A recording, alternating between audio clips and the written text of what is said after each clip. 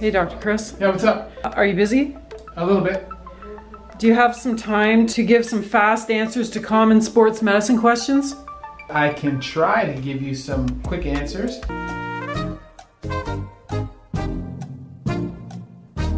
Well, I'll just jump right in then. So, what's the difference between a strain and a sprain? A strain is an injury of the muscle, sprain is an injury of ligaments. Okay. Yeah, huh? How do I know if I have arthritis? One of the common symptoms of arthritis is joint pain. However, to really know if you have arthritis, that is a clinical decision and you need to have radiographs Huh? and you should have an assessment by a medical professional. What is a radiograph? A radiograph is an x-ray. What is the best way to prevent sports injuries? One of the best ways to prevent sports injuries is to make sure that you have an adequate dynamic warm-up and to make sure that you include mobility training in your preparation for sport. Also, you want to make sure that you train in a number of different sports and you train in a number of different ways. Okay. To make sure that you don't um, cause any overuse injuries or set yourself up for, for injury. What is tendonitis and how do you treat it? Tendonitis is an inflammation of the tendon of the muscle. That's the part of the muscle that attaches to the bone. One of the mainstays of treatment for tendonitis is to modify the activity because it's a, typically an overuse injury. So you want to make sure that you change the way that you're training so that you don't overuse the muscle to cause the tendonitis in the first place. How is a shin splint different from a stress fracture? A shin splint is an inflammation of the periosteum of the bone. Periosteum is the covering of the bone. A stress fracture, on the other hand, is a injury of the bone itself, and that's a subacute fracture. So one is an injury of the covering of the bone, the other is an injury to the bone itself. Wow. What causes sciatica? Sciatica is caused by compression of the sciatic nerve, which is one of the major nerves that comes from the spinal cord, or one of its roots in the lumbar spine. Should I stretch before I run? You should always make sure that you do a dynamic warm-up before you run, which includes some stretching movement. However, you should not do static stretching before you run or do an activity. What are DOMS and how do I prevent them? The DOMS stands for Delayed Onset Muscle Soreness. And this is a condition that can happen usually 48 to 72 hours after you've had an intense workout. How do you prevent it? You want to make sure that after you've done an intense workout, you include some mobility training to help to rid the body of lactic acid and you help to mobilize or uh, stretch out the tissues that have been active during that activity. Is running barefoot a good or bad idea? Running barefoot is neither a good or a bad idea. Okay. It is, however, how we were evolved to run. The important thing to remember about barefoot running is that it's not something you can just pick up like that. It's something that you need to acclimate or train the body to withstand over time. You have to remember, we have been in shoes since we were children. Oh no, he didn't. Uh, actually, I gotta get up. Can you come with me? Sure. Can I still ask questions? Sure. I'm just checking the workout for today. Okay. Um, so why can't I shower after surgery? Anytime we cut the skin, you're at risk for infection. We always want to make sure that we protect the wound following surgery, so we cover it with a dressing. However, if you get the wound wet, the bacteria can travel through the bandage with the water into the wound, and that's a bad thing. What's the best way to deal with pain post-operatively? There's a few things that people should keep in mind. So number one, we order pain medication for you for a reason. Make sure that you take the pain medication that your physician orders. Also, you want to try to follow your surgeon's instructions Ladies and gentlemen, can I please have your attention? to make sure that you're doing the appropriate things following surgery. You want to make sure that you rest when it is appropriate, and sometimes you can use ice as an analgesic or a pain relieving modality to help with the pain following surgery.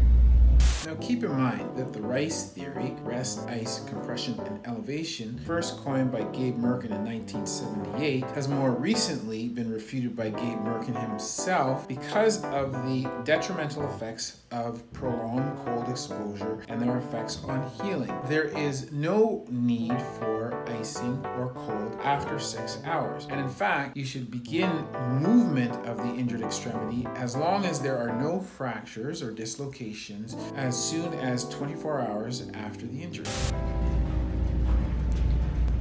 How long does a bone bruise take to heal? Well, depending on the severity of the bone bruise, sometimes it can take up to four months to heal. How can I tell if my knee is infected after surgery?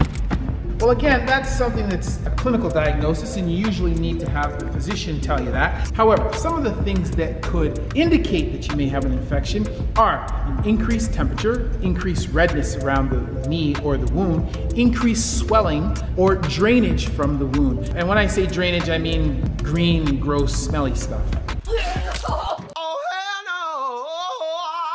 How do I know when it's time to get a hip replacement? Well, again, this is a clinical diagnosis, so the ultimate way is to have a orthopedic surgeon give you that uh, information.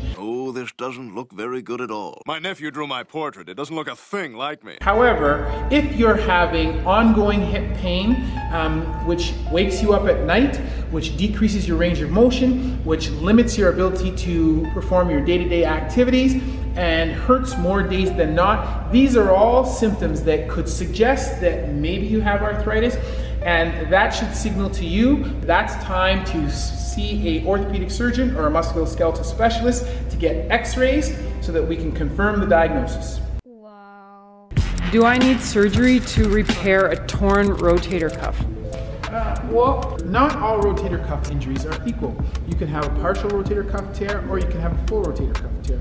Many partial rotator cuff injuries can heal without surgery with the appropriate therapy and the appropriate rehabilitation. However, full thickness rotator cuff tears often will require surgery. Does a broken toe always require surgery? Uh, no, a broken toe does not always require surgery. Many times the fracture is undisplaced and requires only immobilization for a period of time until the fracture heals. How do you fix carpal tunnel syndrome? If you have carpal tunnel syndrome and the diagnosis has been confirmed by EMG studies, we can treat that with a carpal tunnel release, which is a small day surgery. What is a Baker's cyst? Baker's cyst is a collection of fluid behind the knee in an area called the popliteal fossa, and it usually occurs when you have an injury or some type of pathology or problem inside the knee where the knee creates extra fluid in response. What's worse, an ACL or MCL tear? Both of these are ligament injuries of the knee. Of the two, I would say probably that the ACL is worse because more frequently than not, the ACL will require surgery, whereas the MCL can typically be treated non-operatively. Class, we don't like to talk with doctors. Best workout if you only have 10 minutes. That really depends on what it is that you're trying to do. But if you only have 10 minutes, then I'd say the best bang for the buck is probably to do interval training because you can get increased heart rate during that time and you can get a very effective workout in a very short period of time. If you just want to be active, then you can go for a walk. Is there a way to fix my bow legs? Unfortunately, fixing your bow legs is not something that you are going to be able to do yourself. And let me reiterate that you cannot change your bow legs by any means other than surgery. No potions, no magic exercises, no injections, no anything else. The only way to change it is surgery. If your bow legs are very mild, then don't worry about it. If the bowing is very significant, then that's something that will require surgical treatment.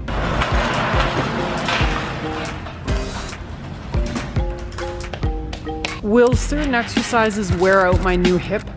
Generally, after you've had a hip replacement, we don't want you to do impact activities because those will increase the wear of your hip. But other than impact activities, you can pretty much do almost anything else. Three and bump, bump. Wow. Why do I get knee pain when I run? There can be many causes of knee pain when you run. Ah! Ah! But one of the most common causes is called patellofemoral syndrome.